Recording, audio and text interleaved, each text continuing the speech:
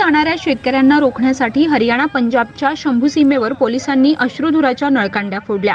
या घटनेचा निषेध करून शेतकरी आंदोलन दोन पूर्णांक शून्यला पाठिंबा देण्यासाठी इथे संयुक्त किसान मोर्चाच्या वतीनं चांदवड मनमाड रोडवरील शासकीय विश्रामगृहाजवळील गणूर चौफलीवर शुक्रवारी रास्ता रोको आंदोलन करण्यात आलं. यावेळी केंद्र सरकार विरोधात प्रचंड घोषणाबाजी करण्यात आली. यावेळी चांदवड येथील कृषी उत्पन्न बाजार समितीत एकत्र आलेल्या संयुक्त किसान मोर्चाच्या पदाधिकारी व कार्यकर्त्यांनी घोषणाबाजी करत गणूर चौफुलीवर येऊन रास्ता रोको आंदोलन केलं. यावेळी केंद्र सरकार विरोधी प्रचंड घोषणाबाजी करण्यात आली. या आंदोलनामुळे चांदवड मनमाड मार्गावरील वाहतूक ठप्प झाली होती.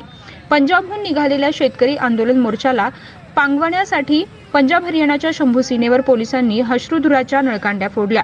त्यामुळे चेंगराचेंगरी झाली. केंद्र सरकार शेतकऱ्यांचा आवाज दाबण्यासाठी आंदोलनाला चुकीच्या दिशा देत असल्याचा आरोप करत या घटनेचा यावेळी निषेध करण्यात आला. यावेळी शेतकरी संघटनांच्या विविध मागण्यांचं निवेदन पोलीस निरीक्षक कैलास वाघ यांना देण्यात आलं.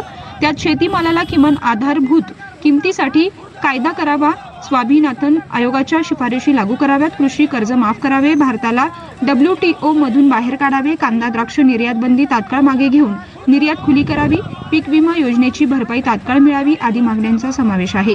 रास्ता रोको आंदोलन प्रसंगी चांदवड कृषी उत्पन्न बाजार समिती सभापती संजय जाधव संपतराव वटे समाधान जामदार ॲडव्होकेट दत्तात्रय गांगुर्डे खेमराज कोर दिलीप पाटील गणपत गुंजाळ दिलीप वाघ भीमराव जेजुरे तुकाराम गायकवाड आदींसह संयुक्त किसान मोर्चाचे पदाधिकारी व कार्यकर्ते उपस्थित होते.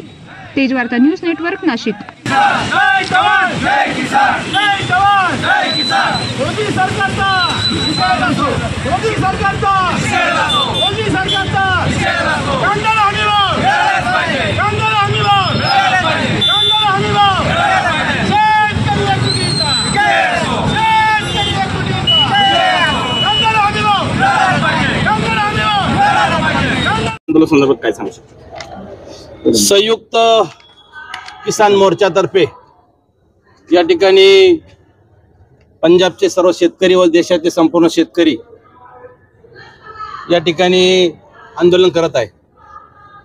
त्यांना पाठिंबा देण्यासाठी संपूर्ण चांदवड तालुक्यातील सर्व शेतकरी बांधव संपूर्ण जिल्ह्यातील शेतकरी बांधव या ठिकाणी चांदवडमध्ये आले आणि त्यांना पाठिंबा देण्यासाठी रस्ता रोकोचं आयोजन करण्यात आलं होतं. त्या त्यांना पाठिंबा देण्यासाठी आम्ही रस्ता रोको केला आणि त्याला सगळ्यात महत्त्वाच्या मागण्या म्हणजे या ठिकाणी शेतकऱ्यांची सर्वात महत्त्वाची मागणी म्हणजे किसान आधारभूत किंमत. किमान आधार किमान आधारभूत किंमत. एम एस पी साठी कायदा करणं गरजेचं आहे. तो कायदा शासनानं करावा ही एक महत्त्वाची मागणी आहे. स्वामीनाथन आयोगाच्या शिफारशीनुसार लागू करण्याची मागणी शेतकरी करत आहेत. ती मागणी या ठिकाणी शासनानं मान्य करावी. कृषी क्षेत्रात ज्या ज्या शेतकऱ्यांनी कर्ज घेतलेलं आहे ते संपूर्ण कर्ज माफ झालं पाहिजे ही एक आमची मागणी आहे. आणि भारताला डब्ल्यू टी ओमधून बाहेर काढलं पाहिजे. म्हणजे या ठिकाणी या डब्ल्यू टी ओमधून बाहेर काढून शेतकरी या ठिकाणी मोकळा केला पाहिजे. आणि सगळ्यात मोठी आणि महत्त्वाची मागणी आपल्या कांदा आणि द्राक्ष याच्यावर जी निर्यात बंदी केली आहे त्या निर्यात बंदीमुळं संपूर्ण देशातील शेतकरी राजा हा अडचणीत आलेला आहे. ज्यावेळेस या ठिकाणी निर्यात बंदी केली त्यावेळेस चार हजार चारशे रुपये क्विंटल प्रमाणे कांद्याला भाव होते. आणि ज्या दिवशी निर्यात बंदी केली ते कांदे हजार बाराशे रुपये या ठिकाणी विकत आहेत. जे हजार बाराशे रुपये विकणारा कांदा शेतकऱ्यांना अजिबात परवडत नाही. आज या दहा वर्षाचा विचार केला तर दहा पटीनं संपूर्ण शेतीसाठी लागणारे आव- माल असतील. मग त्या ठिकाणी खते असतील औषधं असतील बियाणं असतील मजुरी असतील हे दहा पट वाढलेले आहे. जे दहा वर्षापूर्वी सुद्धा अडीचशे तीनशे चारशे रुपये पाचशे रुपये हजार रुपये कांदा विकत होता. आणि तो आज कांदा हजार बाराशे रुपये विकत आहे. सगळ्यात मोठी नुकसान या ठिकाणी कांद्याच्या बाबतीत झाली. तसेच द्राक्षाच्या बाबतीत दहा वर्षापूर्वी पाच आणि आठ हजार रुपये क्विंटल द्राक्ष विकत होते. आज हजार रुपये बारा रुपये द- दहा रुपये किलो द्राक्ष विकत आहेत. त्या द्राक्षाला तयार करण्यासाठी खूप मोठी औषधं लागतात बियाणं लागतात खतं लागतात. त्यासाठी ट्रॅक्टरला डिझेल लागतात. ते डिझेल आवाची सवा झालं खताचे भाव आवाची सवा झाली औषधाचे भाव आवाज सवा झाले. मोठ्या प्रमाणात त्या ठिकाणी माल तयार करण्यासाठी खर्च येत आहे. परंतु आज सर्व शेतकरी माल मोल भावात या ठिकाणी विकत आहेत. तसेच आपल्या सर्व शेतकरी बांधवांनी या ठिकाणी मोठ्या प्रमाणात विमा काढलेला आहे. आणि तो विमा संपूर्ण शेतकऱ्यांना मिळावा एकही शिका एकही पीक आपला आज अस्तित्वात राहिलेलं नाही. ज्या चांदवड तालुक्यातील सर्व शेतकऱ्यांनी जे जे दहा दहा एकर कांदे लावत होते कांदा प- भाव पाऊस पडल या आशेवर सगळ्यांनी दहा दहा एकर कांदे लावले. परंतु या ठिकाणी दहा गुंठे सुद्धा कांदे पिकवता आले नाही. या शेतकऱ्यांनी दहा गुंठे वि- विकत पाणी आणून त्या ठिकाणी कांदा कमावला. तो आज कवडीमोल भावाने विकत आहे. सगळ्यात महत्वाचं हे भाजपचं सरकार शेतकरी विरोधी सरकार आहे. हे शेतकऱ्याच्या विरोधात सरकार आहे. म्हणून येत्या अं, निवडणुकीमध्ये जो भाजपच्या विरोधात उमेदवार असेल त्या उमेदवाराला सगळ्यांनी मतं द्यावं हीच या ठिकाणी मी विनंती करू कारण आपण बऱ्याच प्रमाणात मोर्चे काढले. परंतु त्या मोर्चाला त्या ठिकाणी अं, कोणत्या प्रकारे ते जुमानत नाही. म्हणून होणाऱ्या निवडणुकीमध्ये एकमेव आश्रय आपला. सगळ्यात महत्वाचं आश्रय सगळ्यांनी आपण आपले हेवे दावे बाजूला ठेवले पाहिजे. आणि आपल्या शेतकऱ्यावर प्रेम करणारा शेतकऱ्याला जीव लावणारा जो पक्ष आहे त्या पक्षाला या ठिकाणी आपण मदत करावी हीच या ठिकाणी मी विनंती करतो आणि थांबतो. आता जे चाललेलं दहा वर्षापासून भाजप सरकार तर ते सर्व त्यांचे काही निर्णय असतील ते शेतकऱ्यांच्या विरोधात आहे गरिबांच्या विरोधात आहे आदिवासी असतील युवक असतील या सर्वांचे जे काही निर्णय किंवा जे काही सर्वांना जे पाहिजे याच्या सर्वांच्या विरोधात ही भाजप सरकार काम करीत आहे.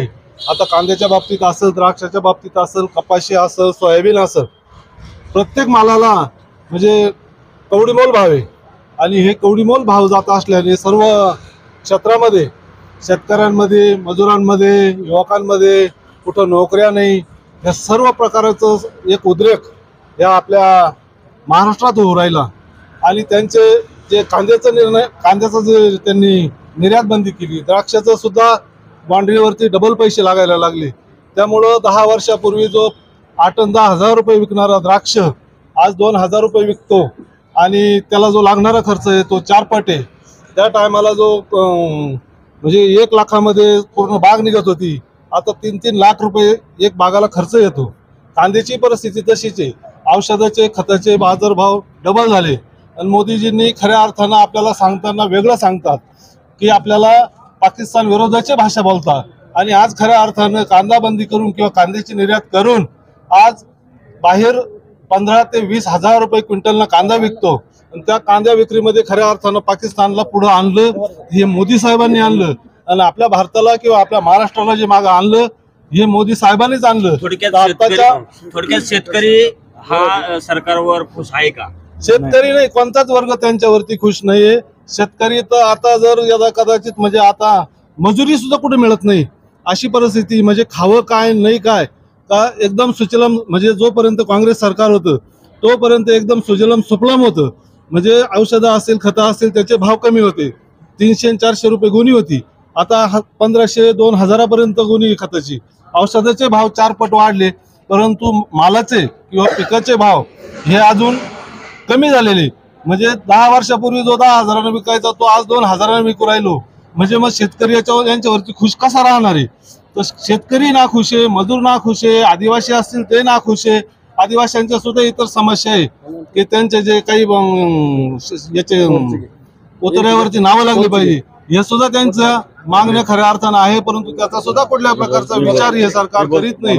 आता येणाऱ्या काळामध्ये जे काही निवडणूक येईल विधानसभा असेल लोकसभा असेल याच्यामध्ये सर्व शेतकरी सर्व वर्ग या भाजपला इथून तडीपार केल्याशिवाय राहणार नाही असं मी या शेतकऱ्यांच्या वतीने एक आश्वासन देतो. आणि किमतीवर देऊ आणि स्वामीनाथन आयोगाप्रमाणे देऊ. स्वामीनाथन आयोगाप्रमाणे जर आज किमती दिल्या असत्या तर जवळपास शेतकऱ्यांचे एकोणीस लाख कोटी सरकारकडे निघता आहेत आजच्या घडीला. ते एकोणीस लाख कोटी आम्हाला देऊ नका आणि शेतकऱ्यांची कर्जमाफी करा. एवढी सरळ सरळ मागणी जे सरकारने बनवून दिलेला कायदा तयार करा ही शेतकऱ्यांची मागणी साधी सरकार करत नाही. त्यांच्यावर बुलेट गोळ्या घालल्या जातात. त्यांच्यावर आशुतोषाचे नळकांड्या फोडले जातात. त्यांच्यावर खेळे टोकले जातात. त्यांना भिंती उभ्या करून दिल्लीमध्ये जाऊ देत नाही. म्हणजे सरकार घाबरतं का? मोदी सरकारचा आज छुपापणा आहे का? कारण मोदींनी चौदा साली सांगितलं होतं भाई बहनों भाइयों मैं आया तो पहली मीटिंग में पहले दिन में मैं किसानों की कर्ज माफी करूंगा स्वामीनाथन आयोग लागू करूंगा। आज काहीच होत नाही एवढ्याच मागण्या ते करते. म्हणजे सरकारने ठरवून दिलेली किंमत सुद्धा शेतकऱ्याला देत नसतील.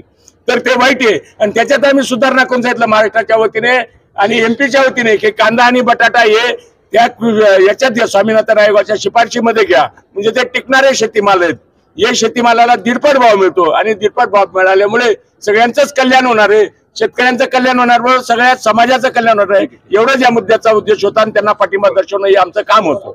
काँग्रेसने घोषणाबाजी केली काय सांगा? सगळ्यात महत्वाचं हे जे केंद्र सरकार या दोन हजार चौदाला सत्तेमध्ये आलं त्यांनी सांगितलं होतं की आम्ही शेतकऱ्यांचं उत्पन्न दुप्पट करू.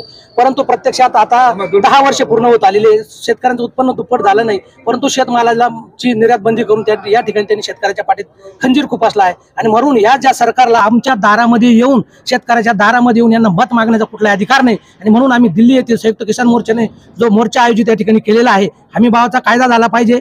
आणि शेतमालाचं निर्यात बंदी निर्यात बंदी जी केलेली आहे ती खुली केली पाहिजे. या कारणासाठी आम्ही जो दिल्लीला आंदोलन चालू आहे त्या आंदोलनाला आम्ही जाहीर पाठिंबा देत आहोत आणि तीव्र अशा स्वरूपाचं आंदोलन या ठिकाणी आम्ही इथून पुढील काळामध्ये उभारणार आहोत आणि बीजेपी सरकारच्या विरोधात या आंदोलनाला असं वळण आम्ही या ठिकाणी देणार आहोत एवढंच मी या ठिकाणी सांगू.